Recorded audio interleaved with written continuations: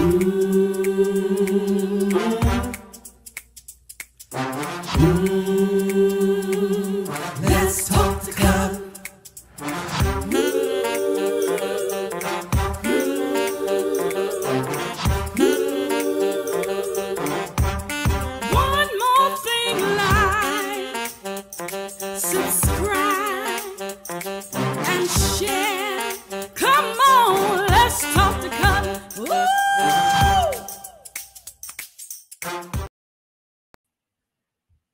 Good evening, everybody. It's Cutler here in the Let's Talk to Cutler broadcast, the Let's Talk to Cutler vlog. I'm chuckling because you all are already jumping in the chat before I can even get the words out of my mouth. And that's a good thing. It really it, it, it makes me feel really exuberant, really excited, and just all of those things, just a floodgate of emotions. Thank you so much for joining me. It's already the 8th of March. The month is moving on, and so are we. I want to tell you what this channel is all about. My station is about inspiration, it's about motivation, it's about taking the time to see how I can show up a little bit better tomorrow than I did today.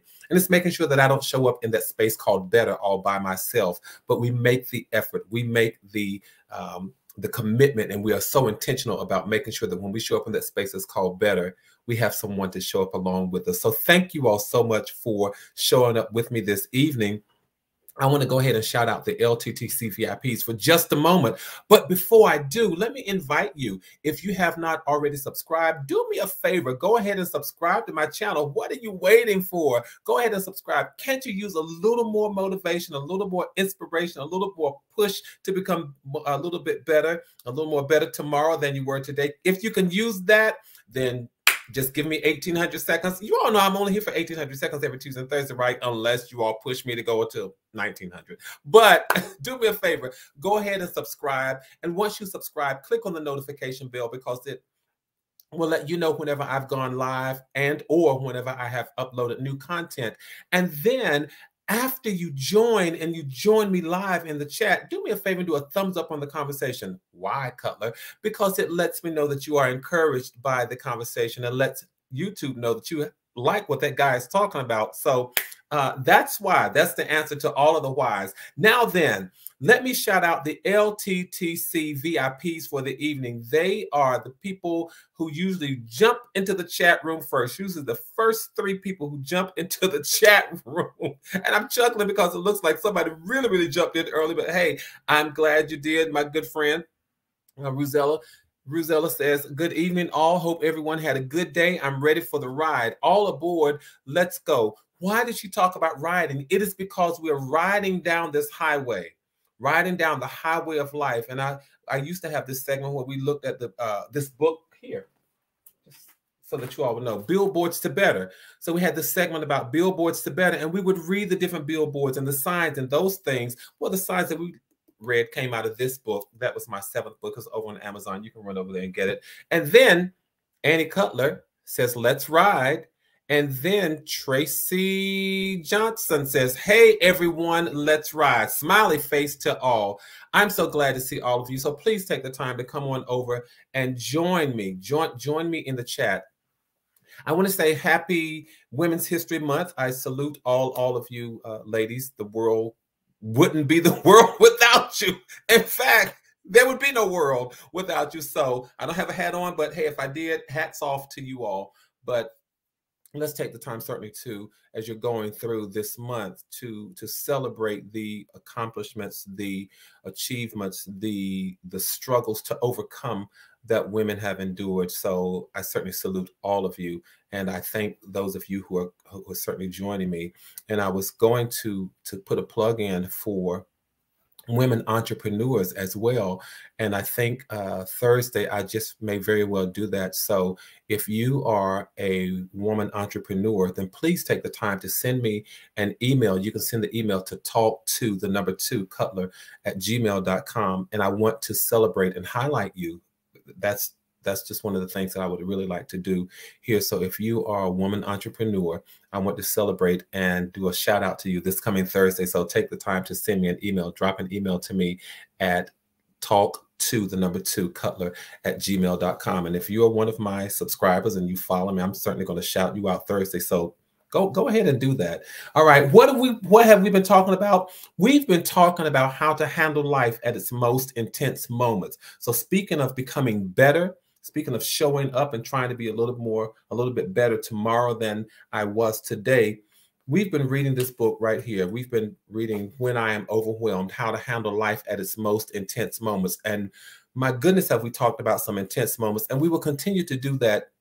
And I find that there's certainly some gentle guidance in the book, some uh, a space for us all to reflect and say, you know what, that's very helpful to me. And even if I am not overwhelmed, I know someone who is. And if I'm not overwhelmed today, I may be overwhelmed tomorrow. If I'm not overwhelmed today, I have been. So it's a matter of all of us being accountable and responsible for helping each other in this space and this journey that's called life. That's why we're riding down the highway of life. If you want this book, running over to Amazon.com, eh, get it and search for Gregory Cutler, Gregory Brad Cutler.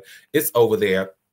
You can get, you don't need to join the conversation. It helps. And there's also some space in there for you to, to, to write and, and do all that kind of stuff. And this is not about pushing the book, but this is about us taking the time to see how do we handle life at its most intense moments. We've talked about a number of practical measures and methods and things that we can use. Thank you, Tracy, for the compliment. Um, but I want to share this as we go into chapter eight. Chapter eight talks about counting the days, and it's really about using your time wisely. I don't know about you, but I have not always used my time wisely. If I can just come out the gate and be transparent, I haven't always used my time wisely. And I come from the country in the South, and we had all of these sayings about time. Do me a favor, if you're chatting with me, tell me some of the things that you have heard about time, some of the sayings that you have heard about time. And I'll just flash some of those on the screen while we're all chatting and while we're here talking. But we're going to talk about time. That's why chapter eight is about the, the subject, the title of chapter eight says, Count the days, count the days.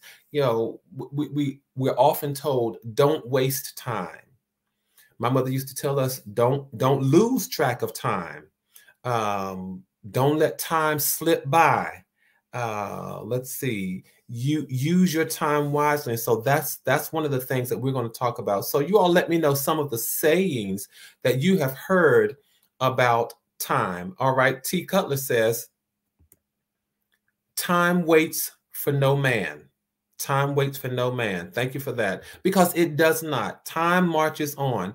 And then let's see. Tracy Johnson says, don't waste time worrying. That's a very good one. Don't waste time worrying because if you waste your time worrying, you can't get that time back. Let's see.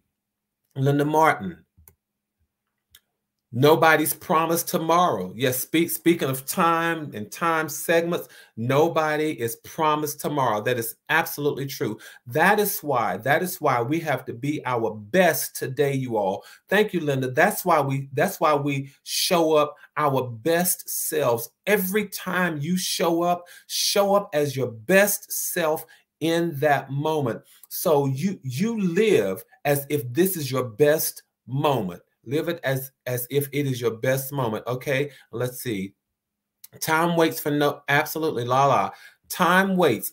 By the way, he says every everyone. Uh, hey everyone, but you're right. Time waits for no man or no woman. It does not wait. Time is the thing that's going to keep ticking. It's going to move along. It's not waiting for anybody. Time is like a moving locomotive. It's like a moving bus. It's like it's Inertia is when something already has its movement in place and it's not going to stop. So some things build inertia and they just keep on going. It doesn't stop. And time does not wait for anybody. Time does not wait for you to get it right. Time does not wait for you to get it all together. And so time just keeps on marching. It doesn't wait for anybody. In fact, time doesn't catch up with you. You have to catch up with time. Thank you, Lala, for that one. Thank you so much for that one. What else have you all heard? Let's let's see. MV, you're right. Another one we've heard. Time is valuable. Time is one of the most valuable commodities that we have ever been afforded. And I think we understate, we underrate, and we, we undervalue time, but time is valuable. So you have to you, use it wisely. All right. And then, yes, Tracy, that's another. Use your time wisely. Don't you don't don't use your time involved in what I would call frivolity, frivolous or foolish things. Don't don't don't don't use your time doing foolish things. All right. And then I like this. Sonia Bailey, you know, I absolutely love this one. Thank you so much, my friend. Put your time in. Payday is coming after a while. And we can give that so many applications in terms of what in terms of what we do, let's say within your profession in terms so it means to put your time in because payday so so work payday is coming. Well let's put that on a broader scale because i'm faith-based. You all know where i'm going with it. Do right. Use your time wisely because what you do with your time there's a reward that's coming for how you use your time there's a space a period of recompense that's coming based on how you use your time. So, for those of us who are faith based, it is about saying, you know what, do right with the time that you have so you can reap a reward for having done right. Put your time in. Payday is coming after a while. We used to say another, and I, I and I put up some of these others. Work while it's day because when when night comes no no man or thank you lala no man or woman can work so we've got to use our time wisely. Time has a way of showing, let's see, what is that one? Time has a way of showing us what really matters. And we can't keep anyone. So in, we can't keep anyone or anything. So enjoy them while we can. Absolutely. You know, I think about the number of times any of us have been to the grave. And th th there is no way that we can hold on to the one that we're bidding farewell. So we have to enjoy them and love them while we can and let them know that we love them. All right, Lala, thank you so much for that one. Time is, speaking of MV, as you just said, time is valuable. T Cutler, you're right. Time is money. Sometimes, and we have to tell people, don't fool with my time because when you fool with my time, you're fooling with my money. All right.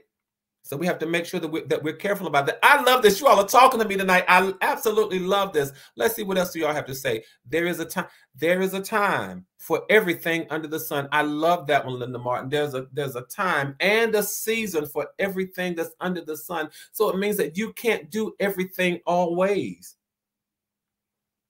That that there are seasons that that are set aside and and and, and that are earmarked for certain things in in our lives and we have to be careful about that. So there's a time for everything, a time and a season for everything under the sun. Everything has its given time, its given season, its given space. And we have to be aware of that. Sometimes life seems to be very cyclical because it seems to go around in circles and in cycles. And we have to be careful about that. We have we have to watch the times, just like the winter, spring, summer, and fall. We have seasons in our lives. We have seasons in our lives, and we have to be cognizant and conscientious about how we are going to do what we do during those seasons. Just have to have to be careful and wise about it. Let's see, it's not always about the quantity, but the quality of time that matters. That is that is so true. I often say when it comes to how we live our lives, it doesn't matter the brevity or the longevity of life because sometimes life is brief and sometimes it's long. So it does not matter the brevity or the longevity of life, but what matters is what you do with it while you have it. So it's not always the quantity, the number of years, because there are some 90 year olds who have lost, who have wasted time. There are some 70, 60, and 80 year olds who have wasted time. But the converse of that is also true. There's some four, five, six, seven, eight, nine, 10 year olds who have managed to capitalize and, the ma- and maximize on the time that they've been given. And then again, let's see. Absolutely. There's a time and a place for everything. A time and a place for everything. To laugh, to cry, to live, to die, to dance, and all of those things. Time and a place for everything. Let's see. Uh, let's see. All right. Lala, you're absolutely right. Let me just share that comment. Lala says, yes, this was so needed because life gets so busy and it feels like time slips away. Lala says, thank you all. And I thank you all as well for these reminders. Let's make sure that we use time wisely. And as I reflect on time, I, am going to go right to chapter eight and share with you my perspective of time. So if you're reading along, you can you can turn in, in the books to chapter 8 and we'll keep on we'll keep up with this conversation about using time wisely. As I wrote Count the Days, here's what I wrote in the book. I've got more days behind me than I do ahead of me. I wrote that that is a truism that had never really struck a responsive chord with me until the year that I turned 50. When I lapsed into that magical moment of having lived half a century, I seemed to have remembered every funeral I had ever attended, every mistake that I had ever made, every promise that I had broken, every dream that I had not realized.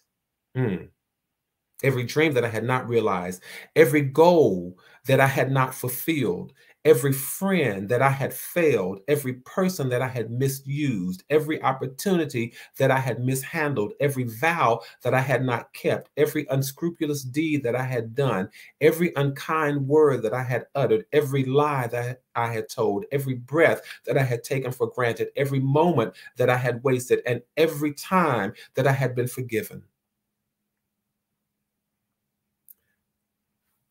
we reach some monumental and pivotal points in life where we stop and we count the moments. We stop and we realize and we ask ourselves we we we do introspection and we reflect and we say have i used my time wisely? What have i done with my time? And years ago, when I turned 50, I remember at that moment, I remember reflecting over my life. And I came to grips and I came to terms with the fact that I had not used every moment wisely. I had not done right. I had not done good by all of the time that I had. And that is why those of you who've been with me, you all know that I'm so transparent. And that's why I wrote it in that book, you all for me, it was the realization that I hadn't done right with every, with the gift that I had been given. Couldn't go back and do it over, but it was acknowledging that I have to make wise use of my time. At half a century and, and at different pivotal points in your life, you realize, my goodness, I, I, I have to learn how to use time. I have to become a good steward over the most powerful and most valuable gift that has been given to me, and that is time. I literally counted the days that I had lived, survived, endured, and overcome. Sometimes, when you, because we're talking about when I'm overwhelmed, sometimes when you are feeling overwhelmed, you've just got to count the days you don't necessarily have to count what happened during the days, but just count the days. Add them up, and despite the trials, look at how many days you have survived. And that's what I want to offer us to offer to us tonight. My offering is the ability to count. Sometimes just add up the days because we when we are in the throes of those challenging times, and we sometimes cannot see the light of day, it helps. I promise you, it helps to be able to add up the days and count them. And despite the trials, you come to grip with how many come to grips with how many days you have survived, how many days you have endured, how many days you have been standing, how many days you have managed to navigate from the from, from when the sun came up until the sun went down, you managed to count those days. I just put it in the book just because it, it seemed to help me. At the age of 50, I had lived 18,262 days. Think about it based on your age. How many days have you lived? That was when I was 50, 18,262 days. I got excited about it only to realize it translated into 438, 288 hours that I had lived, that I had survived, that I had been here on this thing that's called earth. When you're feeling overwhelmed, ask yourself, how long have I made it? How long have I endured? How long have I overcome? How long have I carried the weight even when I said I couldn't carry it any further? Count the days because every day that you carry it, you are a victor and not a victim. I want to offer us a different perspective. That's all. Because so many of us have been carrying so many things.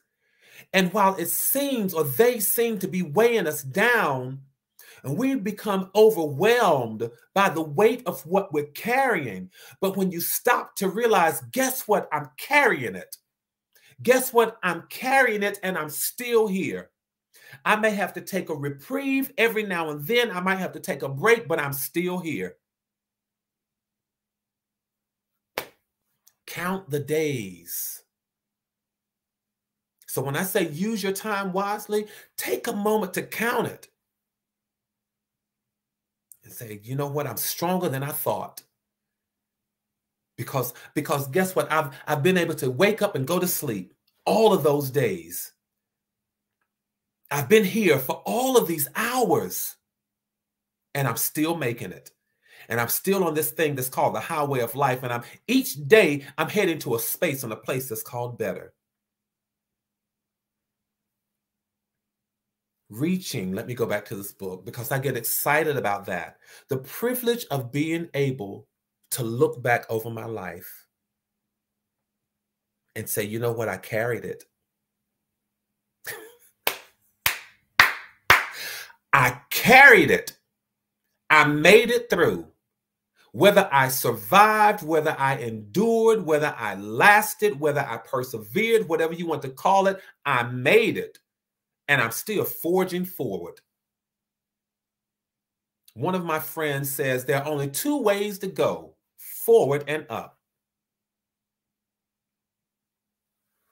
Tends to tell his folk that they are moving in two directions only forward and up. And so I want us to think about it because I know that we're carrying so many things. Some of us are carrying heartache, but we're carrying it.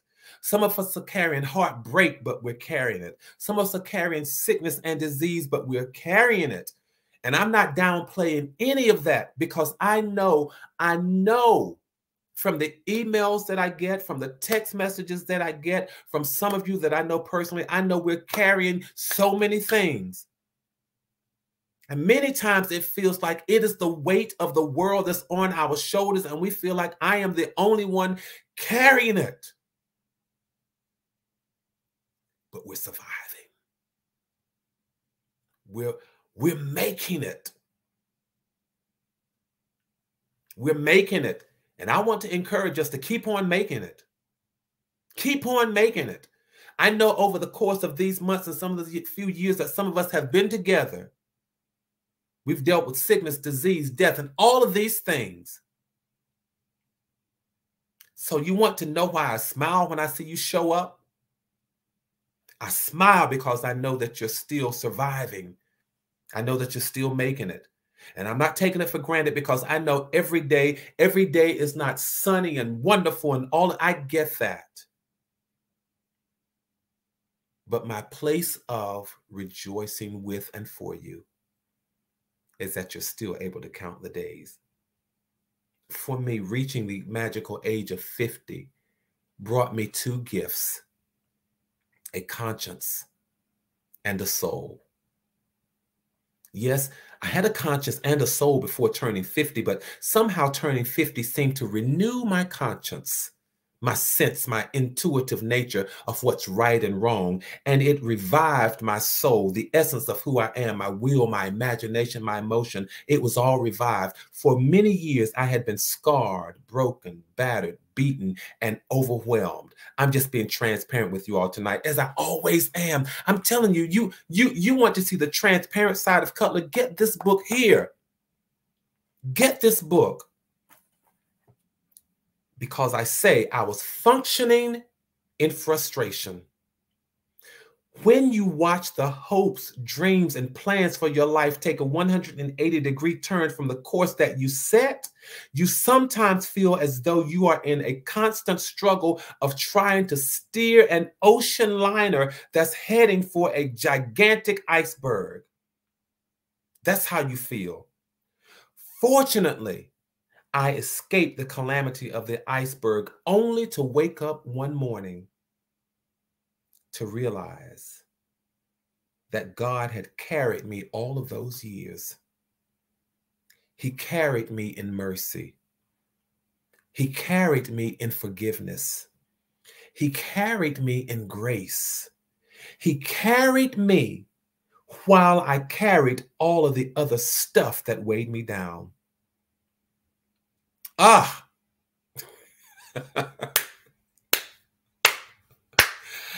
ah, okay.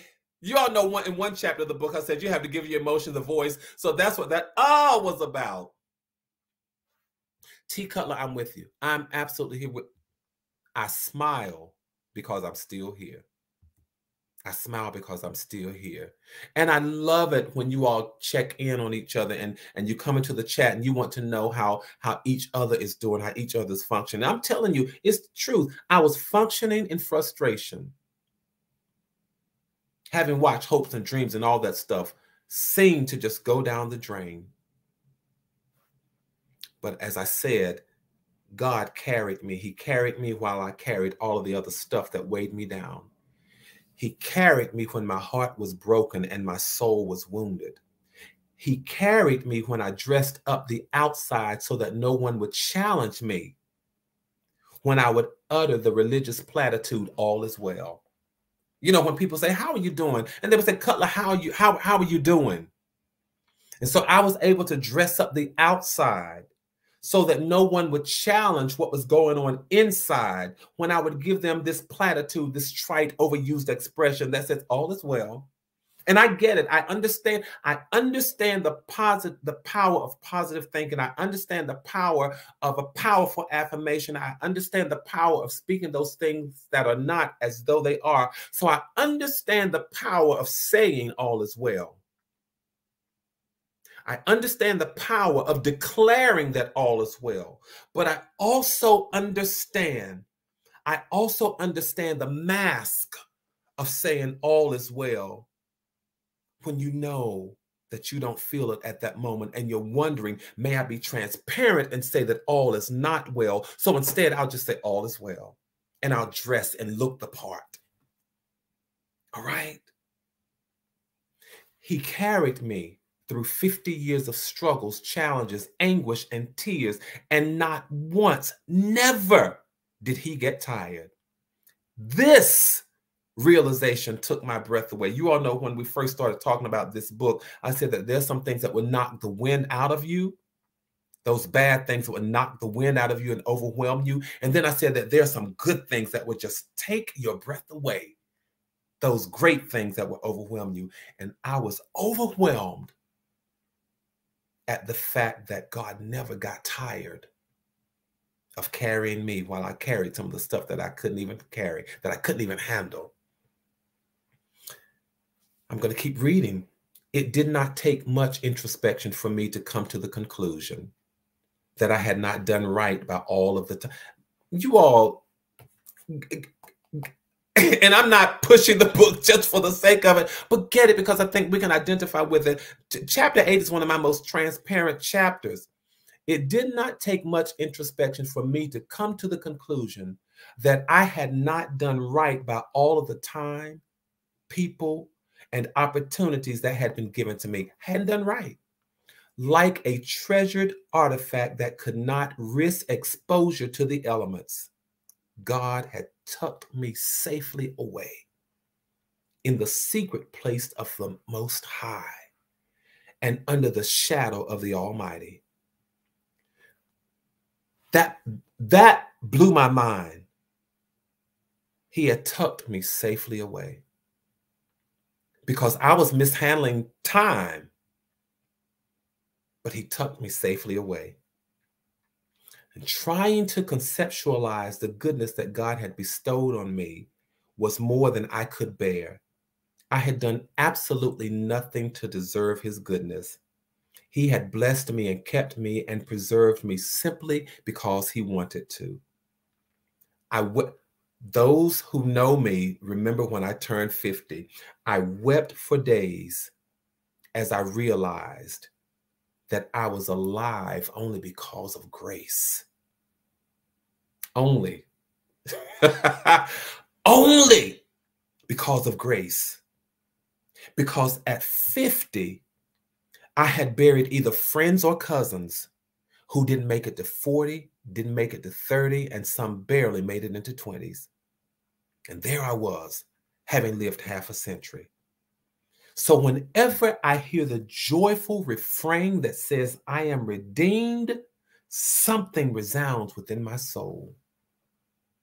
You know, we often hear at scriptures this at, at funerals, we often hear this this this scripture that says, teach us to count our days. That's really more of an admonition for the living to count our days.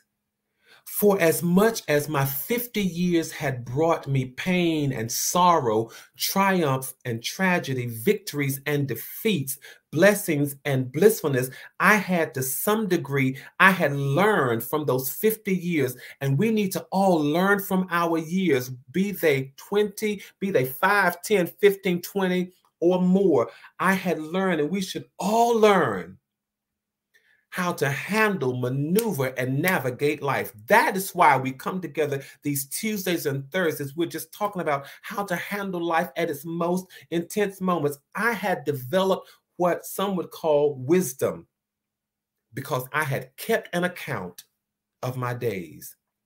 I had not merely let life happen without paying attention. Don't, if I can just sort of summarize a part of our conversation tonight, don't let life happen without paying attention. Don't let life happen without paying attention. Use your time wisely. Use your time wisely. I think what I want to do is, is just pause here because we've, you all have been sharing these wonderful thoughts about time. And, and I've been sharing from the book and giving us an opportunity to say, you know what? How can I avoid being overwhelmed at times? Got to remember to use my time wisely. How do I handle those most intense moments? So use my time wisely and reflect on the fact that I'm still here, that I survived, I thrived, I endured, I made it. Don't let, don't let, thank you, Tracy, life pass you by. Don't don't let it pass you by. I'm going to pick up, I think what I'm going to do, I'm going to pick up the next time we come together and I'm going to share this poem that I wrote when I turned 50. I'm also going to share another poem and I'll also shout out women entrepreneurs. I think th I think that's what I want to do. But I am telling you this. I am telling you this. Make sure, make very sure that you count the days so that in in order to make sure that you don't become overwhelmed and sucked under and, and, and, and taken into a downward spiral, what you want to make sure is that you count the days. And when it looks like you've been in the throes of challenges and hurdles for just 20 days, you say, All right, I've been here for 20 days in this. But apart from that, I've been on this thing called Earth for over 18,000 days. My friend Jay Song for you. It's good to see you. All right. Listen, I'm getting ready to go. You all have kept me here more than 1800 seconds, but I tell you what I'll do. When we show up next go around Thursday, tell somebody, come on and let's talk to Cutler because I'm going to share two poems. I'm going to shout out women entrepreneurs, but I'm going to continue our conversation about time and about counting the days. Listen, let me say this. Let's keep building community. Let's keep maintaining connectivity. You all stay safe and stay sane. Keep your heads up, keep your heads up, keep your hopes up, and tell me. Well, I'm not going to ask you to tell me anything because I was going to say something else. I'm not going to ask you to tell me anything, but please know this from my heart to yours, there is and always will be so much love. Until the next time, let me just say good night and come on, let's talk to Cutler.